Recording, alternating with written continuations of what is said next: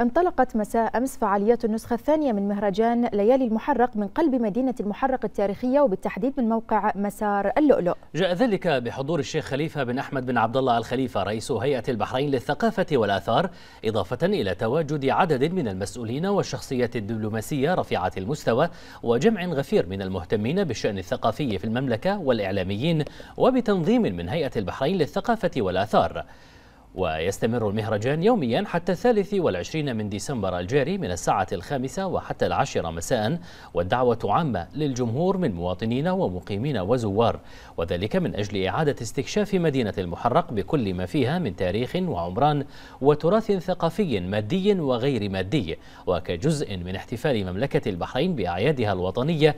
وذكرى تولي حضرة صاحب الجلالة الملك المعظم حفظه الله ورعاه لمقاليد الحكم. وما يصاحبها من مناسبات وطنية.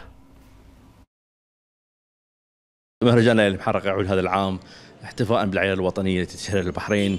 ضمن الأنشطة التي أعدت خلال شهر ديسمبر التي تتيح للمواطن والزائر الاستمتاع بما تقدمها البحرين من ثقافة متنوعة متجددة. يعرض هذا المهرجان جوانب متعددة من التصاميم الفنون الموسيقى الشعبية والمعاصرة.